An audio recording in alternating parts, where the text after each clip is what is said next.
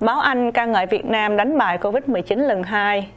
Thưa quý vị, tờ Telegraph của Anh cho rằng việc phong tỏa quyết liệt xét nghiệm quy mô lớn và truyền thông rộng rãi đã giúp Việt Nam đánh bại Covid-19 lần 2.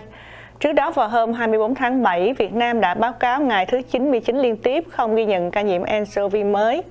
Telegraph nhận xét rằng trong khi vẫn đóng cửa biên giới tất cả các nước và chỉ một số chuyến bay đặc biệt được hoạt động, cuộc sống ở Việt Nam vẫn diễn ra bình thường một cách đáng kinh ngạc với phần lớn thế giới.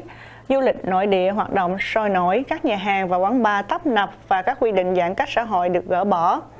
Tuy nhiên, vào ngày thứ 100, Bộ Y tế Việt Nam đã công bố một ca lây nhiễm cộng đồng mới tại thành phố Đà Nẵng với nguồn lây không được xác định khi tất cả những ca nhiễm mới trong 3 tháng trước đều là những người từ nước ngoài trở về và được cách ly ngay.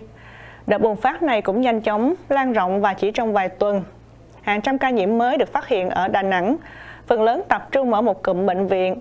Số ca tử vong liên quan tới COVID-19 ở Việt Nam cũng nhảy vọt từ 0 lên 35. Trong những ngày tiếp theo, các ca nhiễm mới được phát hiện ở 15 tỉnh thành khác, trong đó có Hà Nội và Sài Gòn. Tuy nhiên, tờ báo của Anh lại cho rằng không giống hồi tháng 3, khi Việt Nam đang đối mặt với đợt bùng phát mạnh đầu tiên và áp dụng giãn cách xã hội trên toàn quốc. Lần này chính phủ quyết định thực hiện các tiếp cận mang tính địa phương hơn nhằm tránh thiệt hại đến nền kinh tế vĩ mô. Đà Nẵng sau đó đã được đặt dưới chế độ phong tỏa nghiêm ngặt chưa từng thấy. Việc ra vào thành phố đều bị đình chỉ, hầu hết các cơ sở kinh doanh đều đóng cửa các quán bar, karaoke, hộp đêm ở Hà Nội hay Sài Gòn cũng không được hoạt động. Các cuộc tụ tập trên 30 người đều bị cấm và người dân cũng bị bắt buộc đeo khẩu trang ở nơi công cộng.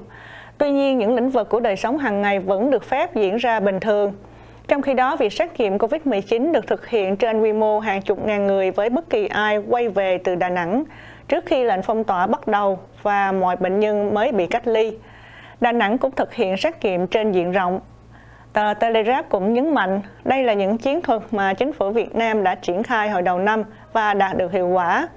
Một phương pháp quan trọng khác là truyền thông trên diện rộng trong Bộ Y tế thường xuyên gửi tin nhắn đến tất cả số điện thoại di động để đưa ra các khuyến cáo về y tế và an toàn. Đến nay, Việt Nam đã trải qua 26 ngày không ghi nhận ca nhiễm cộng đồng. Hoạt động đến và đi từ Đà Nẵng đã được nói lại. Các cơ sở kinh doanh ở những thành phố lớn khác cũng quay lại bình thường. Việt Nam tăng từ 417 lên 1.094 ca nhiễm kể từ ngày 24 tháng 7 đến nay, trong đó 1.007 người đã hồi phục.